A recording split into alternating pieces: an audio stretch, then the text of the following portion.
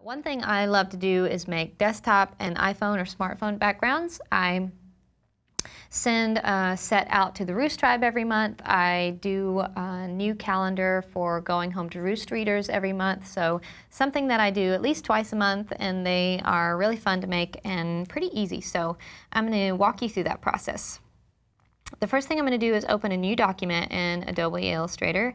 To do that I hit Command N and I'm going to name this uh, desktop background.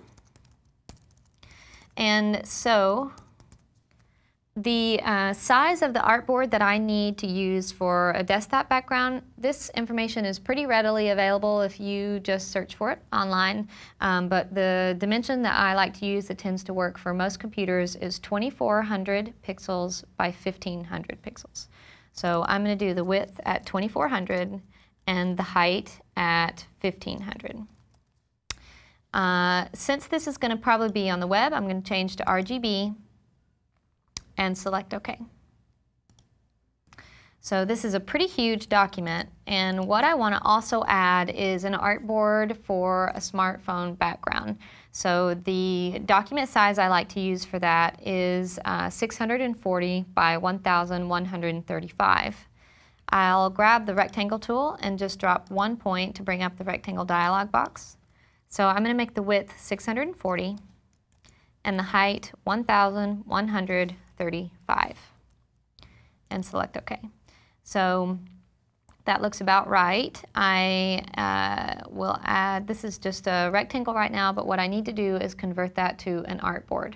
So uh, if you ever draw a square or rectangle that you need to create an artboard from, all you have to do is select the rectangle, uh, come up to Object, um, select Artboards, and convert to Artboards.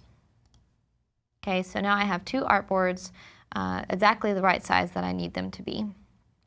Next thing I need to do is just get a rectangle on top of them that is the same size as them. So with Smart Guides, I could probably just draw a rectangle, but just to be exact, I'm going to drop a point in the upper left left-hand corner. And since this is remembered, uh, the last dimensions I put in, so I'm going to use that to my advantage and just do the iPhone first. So I'll drop the point here, and that's already set to go, 640 by 1135, and hit OK.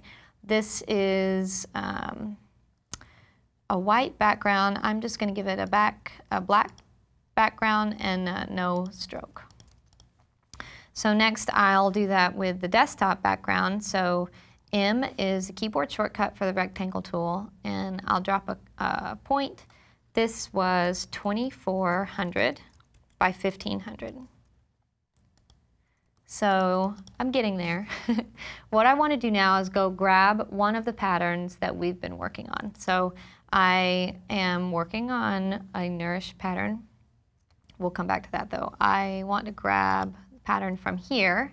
And I think I'm going to use uh, kind of our big floral T inspired print for this background. So I've just selected that square. I'm going to copy it by hitting Command C, run over here to my desktop background and paste it Command V. Uh, so all I want to do is get uh, that pattern on both of these rectangles. So I'll select both of them and use the eyedropper tool that keyboard shortcut is I and just uh, lay that pattern right on our desktop. I'm done with that square now, so I can delete it. Um, this is really, really small, so I want to play with increasing uh, the scale of this pattern. And we're just going to see what happens here, but one thing I really like to do is uh, blow up this pattern significantly. So let's blow it up like by a thousand, um, and I think maybe even bigger, so like 1500%, maybe 2500. Something really big um, that gives you a hint of, of what is there, but it's not so obvious that it's a repeating pattern. It just looks really artful, like you have kind of draped flowers um, onto the edges. And when you put it, set it as a desktop background, it's going to uh, just kind of fill your screen with something floral. So I think I'm good with that percentage, but I want to work on moving these patterns around. So I'm going to uh, move them independently of each other since this one is pretty close to what might be nice and this one I'm going to work on a little bit. So I'll just select the rectangle, right click, transform, and move. Um, this kind of sporadically, I don't know where it got these values from, but uh, kind of like what it's doing. So I'm going to just scroll with my mouse on this horizontal one just to see if I scroll this over a little bit, what might look best. And I'll do the same with the vertical, maybe bring this down. So I'm going to add um, a quote to this, just like I've been doing for some of the other um, slides that I've used during this course. So I want to add a quote to it. So I want some negative space that'll leave me um, somewhere to write.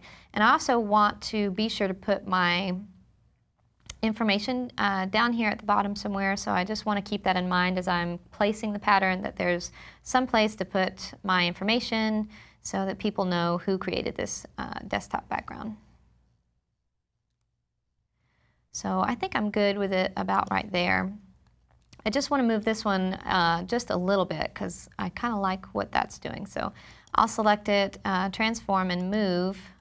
So it jumped it uh, to, to get it back to just what I was seeing before. I'll just take these values both back to zero. And I want to just move that down a little bit to where I lost that brown edge right there. And I'll select OK. Um, I could reduce the scale of that one just slightly too, maybe 90%. Um, and then I need to move it just a little bit more one more time. So I'll move it uh, down. So you can see a little bit more of the floral aspect um, by reducing the scale.